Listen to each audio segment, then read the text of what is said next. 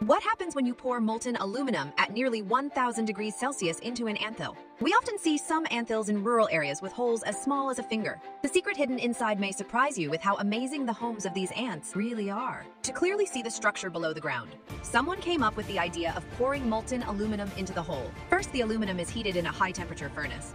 In a moment, the aluminum has melted to nearly 1000 degrees Celsius. Then pour this liquid onto the whole of the anthill. Wait a moment for the molten aluminum to cool down a bit, then dig up the anthill. When the anthill is brought up, use a water hose to spray away the surrounding soil. The result is beyond imagination. In front of you is a very beautiful and complex architectural structure. These ants are no different than talented engineers, architects, or builders